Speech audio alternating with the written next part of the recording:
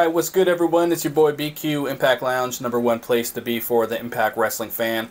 I said I was going to be doing some short uh, content bits here, uh, reviewing matches from BTI and uh, the Impact Digital exclusives.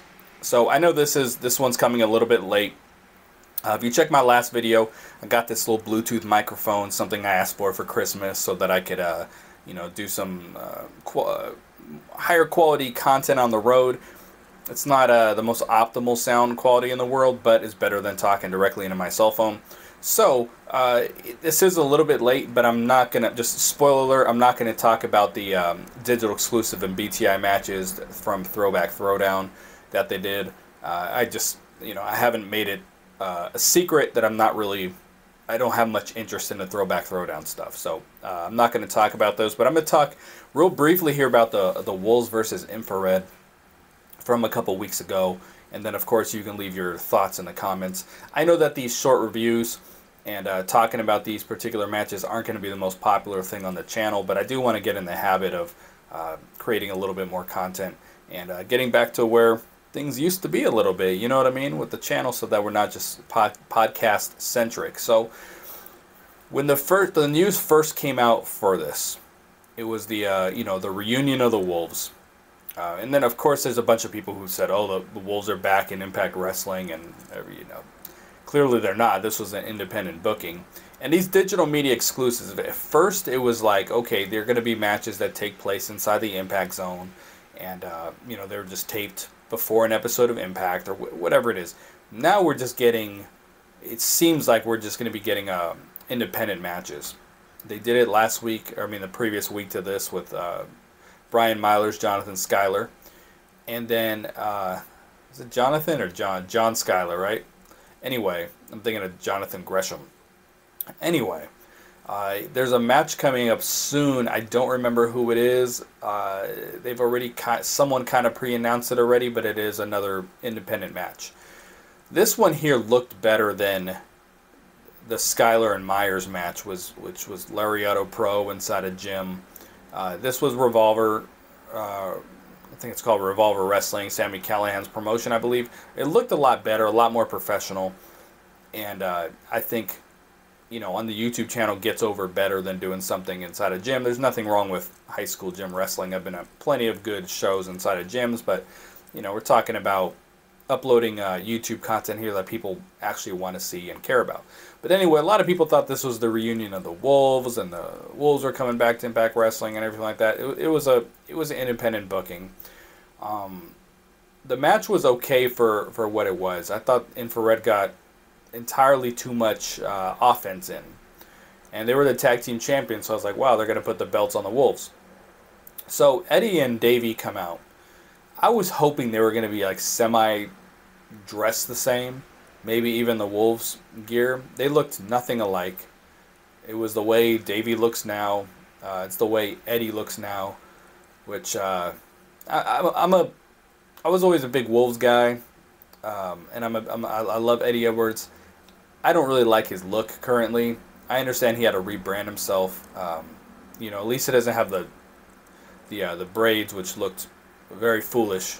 Um, he he looks a little bit better now, but it's it's just it was very different seeing Davey kind of look the way he always has, and then Eddie come out with the beard and the shirt and the the jorts and every like it was just it was different to see. It didn't feel like the Wolves. It just feel, felt like two guys teaming up. But they did use the iconic Wolves entrance music, which is, in my opinion, one of the best theme songs they've ever had in TNA.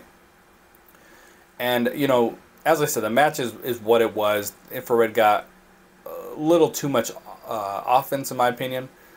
They look like a pretty decent team. They're, they're not someone I would say go out and bring them the impact. I mean, I didn't see much different than I wouldn't see with the independent wrestling tag team. Uh, but they're, they're pretty good. Um, obviously, uh, Revolver felt you know something about them and saw something in them to put them in a match like this.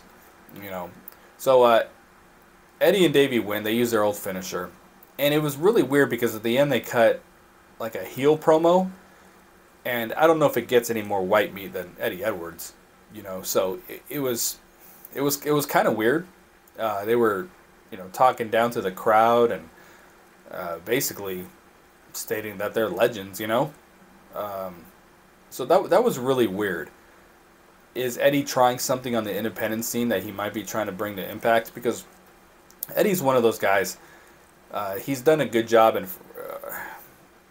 uh, not recently, but at one point he did a good job in freshening up his, freshening up his character.